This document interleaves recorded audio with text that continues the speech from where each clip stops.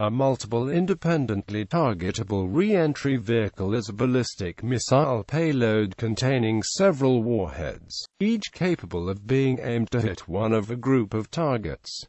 By contrast a unitary warhead is a single warhead on a single missile. An intermediate case is the multiple re-entry vehicle missile which carries several warheads which are dispersed but not individually aimed. Only the United States, Russia, France, and China are known to have developed MIRV missiles. Purpose the military purpose of a MIRV is fourfold. Enhance first strike proficiency for strategic forces, providing greater target damage for a given thermonuclear weapon payload. Several small warheads cause much more target damage area than a single warhead alone. This in turn reduces the number of missiles and launch facilities required for a given destruction level, much the same as the purpose of a cluster. Munition with single warhead missiles, one missile must be launched for each target. By contrast with the MIRV warhead, the post-boost stage can dispense the warheads against multiple targets across a broad area, reduces the effectiveness of an anti-ballistic missile system that relies on intercepting individual warheads.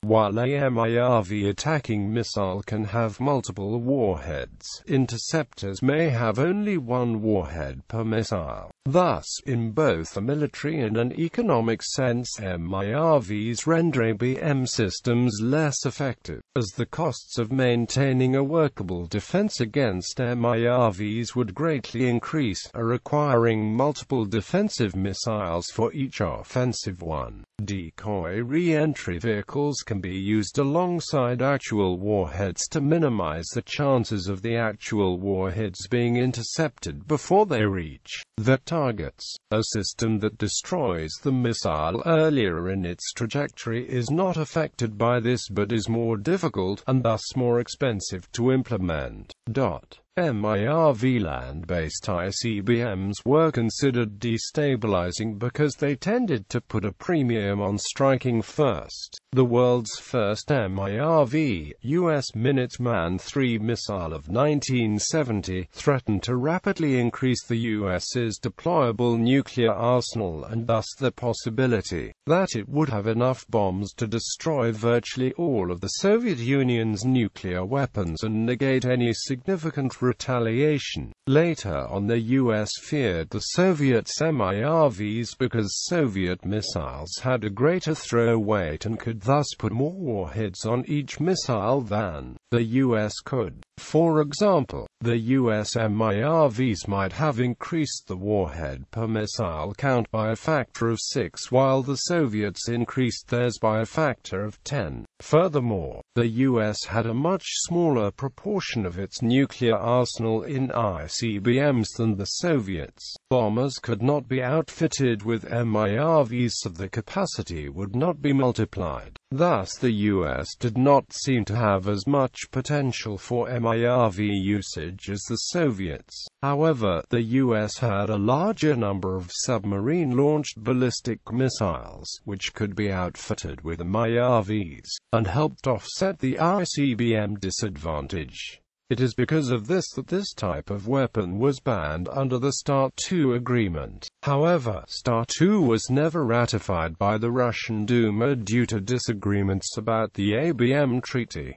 Mode of operation In the MIRV, the main rocket motor pushes a bus into a free-flight suborbital ballistic flight path. After the boost phase the bus maneuvers using small onboard rocket motors and a computerized inertial guidance system. It takes up a ballistic trajectory that will deliver a re-entry vehicle containing a warhead to a target, and then releases a warhead on that trajectory. It then maneuvers to a different trajectory, releasing another warhead, and repeats the process for all warheads. The precise technical details are closely guarded military secrets, to hinder any development of enemy countermeasures. The BAS on-board propellant limits the distances between targets of individual warheads to perhaps a few hundred kilometers. Some warheads may use small hypersonic airfoils during the descent to gain additional cross-range distance. Additionally, some buses can release decoys to confuse interception devices and radars, such as aluminized balloons or electronic noise makers. Accuracy is crucial, because doubling the accuracy decreases the needed warhead energy by a factor of 4 for radiation damage and by a factor of 8 for blast damage. Navigation system accuracy and the available geophysical information limits the warhead target accuracy. Some writers believe that government-supported geophysical mapping initiatives and ocean satellite altitude systems such as CSAT may have a covert purpose to map mass concentrations and determine local gravity anomalies,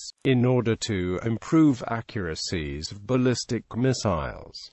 Accuracy is expressed as circular error probable. This is simply the radius of the circle that the warhead has a 50% chance of falling into when aimed at the center. CEP is about 90 to 100 meters for the Trident II and Peacekeeper missiles. MRV, a multiple re-entry vehicle payload for a ballistic missile deploys multiple warheads in a pattern against a single target. The advantage of an MRV over a single warhead is that the damage produced in the center of the pattern is far greater than the damage possible from any single warhead in the MRV cluster. This makes for an efficient area attack weapon.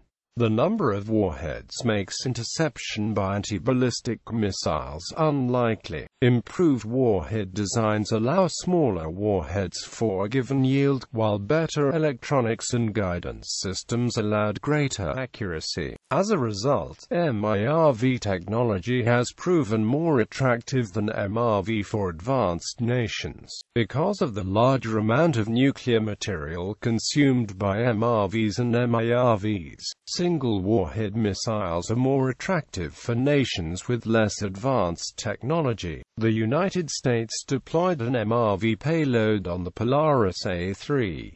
The Soviet Union deployed MRVs on the R-36 Mod 4 ICBM. Refer to atmospheric re-entry for more details.